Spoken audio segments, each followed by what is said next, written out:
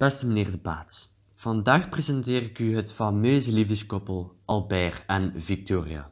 Ik zou zeggen, neem uw popcorn en geniet. Ik heb mijn presentatie onderverdeeld in verschillende stukken. Ten eerste geef ik u meer informatie rond Victoria zelf. Vervolgens leg ik het Victoriaanse tijdperk beknoopt uit. Daarna leg ik uit wie Albert is. En als voorlaatste beschrijf ik de situatie tussen Albert en Victoria. En tot, tot slot doe ik u een korte sketch. Om Victoria te introduceren zou ik heel graag een quote willen citeren. Het gaat als volgt. Het belangrijkste is niet wat ze van mij denken, maar wat ik van hen denk. Um, haar volledige naam is Alexandrina Victoria van Hannover. Ze is geboren op 24 mei 1819 te Londen en gestorven op 22 januari 1901 te Isle of Wight, ook in Engeland.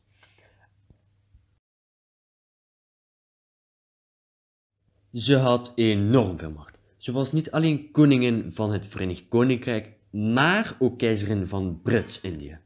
Brits-Indië bestaat vandaag uit Pakistan, India, Sri Lanka, Bangladesh, Bhutan en Myanmar. Nu zijn we aangekomen bij het Victoriaans tijdperk. Het duurde van 1837 tot en met 1901, wat dus ook de dood van koning Victoria inhield. Het eerste punt is, dat de, is de constitutionele monarchie, wat wil zeggen dat de koning of koningin de grondwet ook moet volgen. Um, vervolgens was er een industriële revolutie. Dit zorgde voor een verhoogde welvaart en betere economie. Het derde en meest frappante is de grote uitbreiding van het Britse Rijk. Ze kregen niet alleen door huwelijkspolitiek de macht van Europa, maar door veroveringen ook een enorm deel van de wereld. Het laatste is beter bekend als de Commonwealth. Nu zijn we aangekomen bij Albert. Albert's volledige naam is Frans Albert Auguste Karel Emmanuel van Saxen-Coburg en Gotha. Het is een hele lange naam. Hij is geboren op 26 augustus 1819 te Coburg en dat bevindt zich in Duitsland en gestorven op 14 december 1861 te Windsor Castle, dat zich bevindt in Engeland. Hij is dus eigenlijk eh, gestorven op een relatieve jonge leeftijd van 42 jaar. We kunnen enorm veel vertellen over Albert, maar ik wil het kort houden. Ik heb voor drie belangrijke kenmerken gekozen. Ten eerste had hij een hele roerige jeugd, door de scheiding van zijn ouders onder andere. Vervolgens volgde hij hele hoge studies. Hij studeerde politieke economie, uh, kunstgeschiedenis, filosofie en rechten. En tot slot wil ik ook vermelden dat hij na, naar verleid prachtige muziek speelde. Nu zal ik het hebben over de relatie tussen Albert en Victoria zelf. In 1836 ehm, werd het huwelijk goedgekeurd door Leopold I, toen koning van België. Heel frappant was dat ze negen kinderen kregen. Ja, negen kinderen. Deze werden later uitgehuwd aan andere koningen en koninginnen in Europa, waardoor ze heel veel macht kregen. Vervolgens uh, was de balans tussen moreel en monarchie perfect.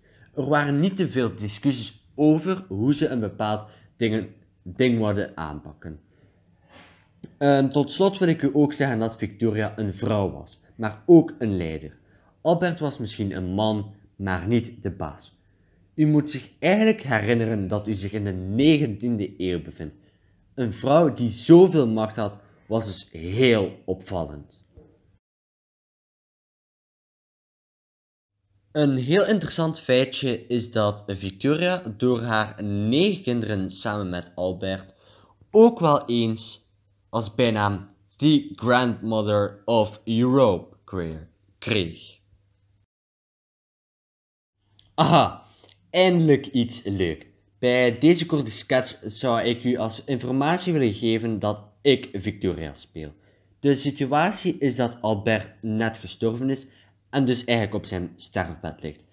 Iets merkwaardig was, um, is dat Victoria na, de, na, haar dood eigenlijk altijd zwarte kleren droeg. Ik zou zeggen, veel plezier met kijken.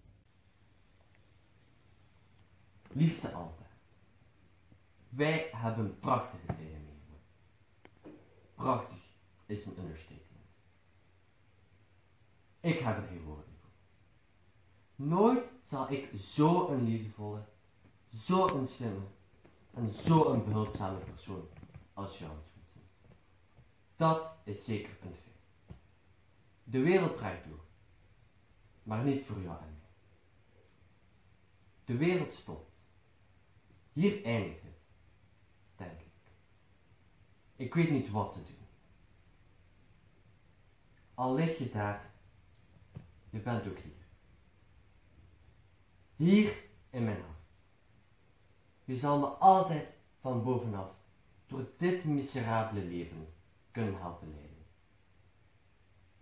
Ik hou veel van jou. Nooit zal ik jou vergeten. Nooit zal je mij geheugen ontglippen. Nooit.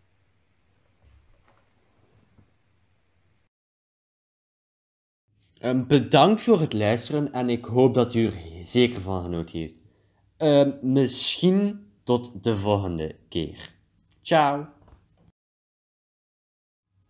By the way, dit zijn de bronnen die ik heb geraadpleegd.